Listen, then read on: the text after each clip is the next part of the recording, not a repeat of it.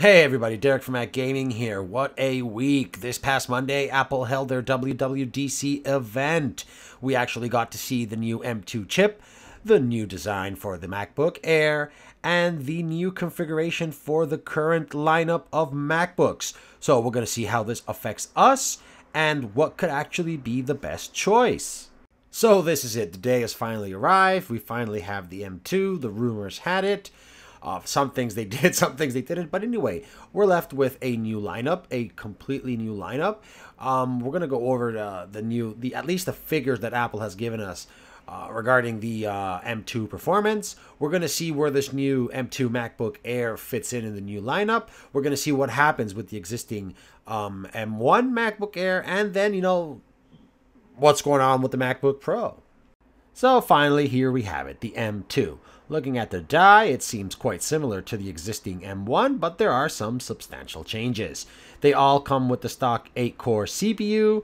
In this case, we will get at least a minimum of 8 GPU cores. It also allows us to hit at least 24 gigabytes of RAM, and that's already a jump from the uh, base model M1 which had 7 GPU cores. You might be asking yourself, or at least I did, what does all of this, you know, Apple marketing translate into?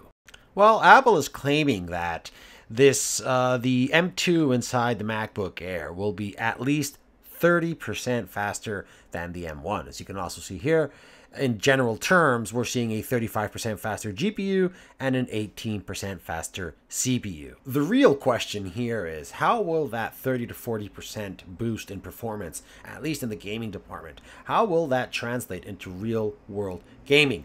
How will that affect thermal throttling? Will I be able to sustain higher frame rate? Will it cause less stuttering? Will I be able to perform better? All of these questions will get their answer once we get our hands on the new MacBook Air.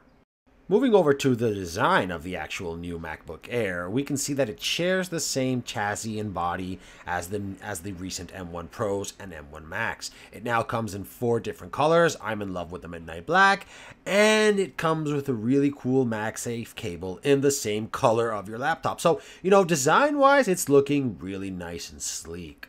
Apple always does a great job at making, you know, existing hardware and existing technology suddenly look old and outdated. And that actually takes us to our next point.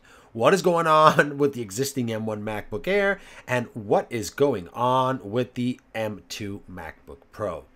So what they basically did here is they kept the old design, they slapped on the M2 chip, and now they're trying to sell it to us as a new laptop. So all of this leads us necessarily to compare the current lineup. So here we can see the existing M1 MacBook Air from 2020, the brand new M2 MacBook Air, and the M and the existing MacBook Pro with the new M2 chip. Uh, regarding CPU and GPU cores, the MacBook Air has 8 and 7. The new one can go up to 8 and 10, and the MacBook Pro stocks a default 8 to 10. Regarding RAM, well, the M1 was limited to 16, whereas the new ones can hit 24. And, well, the rest speaks for itself. The M1 MacBook Air and the M2 MacBook Pro still have the old design, they don't include MagSafe, and just in the particular case of the MacBook Airs, they do not have active cooling. So what exactly is happening here? On one side, we have the existing M1 MacBook Air with its old design. On the other side, we have the existing MacBook Pro with its old design. And in the middle, we have the brand new MacBook Air with the M2 chip and the new design. The price difference between the existing MacBook Air and the new MacBook Air is only 300 euros. So Apple is basically telling us, hey, for 300 euros more, you're getting a new design, upgraded screen, upgraded speakers, upgraded webcam, upgraded microphone. You're also getting the brand new generation M2 chip and MagSafe, which I believe is really, really good. Uh, but also, they're telling us that hey, for a hundred bucks more over the brand new MacBook Air, you're getting a MacBook Pro with active cooling and the M2 chip. But uh, that's actually quite confusing because the M2 MacBook Pro still has that old unibody design that we've been seeing for the past at least five years. So, all in all, what I understand here is that Apple wants us to buy the M2 MacBook Air. Well, for me, it's all quite simple, actually. If you're on a budget, you're going to get the M1 MacBook Air, which, don't get me wrong, is still a really impressive machine. If you're into looks and you don't mind paying those 300 euros more, you're going to get the M2 MacBook Air. But I don't believe it would be such a smart move to get the M2 MacBook Pro, since you're still getting that outdated design, you're not getting MagSafe, and all in all, compared to the existing M1 MacBook Air, you're going to pay at least 400 to 500 euros more, and in exchange, all you're getting is active cooling. We already saw back in the day with the M1 MacBook Air and the M1 MacBook Pro that the active cooling was actually giving us, let's say, anywhere between 10 to 15% boost in performance, especially when it came to thermal throttling. That's all that active cooling did. It actually prevented thermal throttling from happening. So here we have it, guys. The new lineup with the entry-level MacBooks. We have the M1 MacBook Air, the existing model. We also have the brand new with the new designed M2 MacBook Air, and then we have the MacBook Pro with the M2 chip.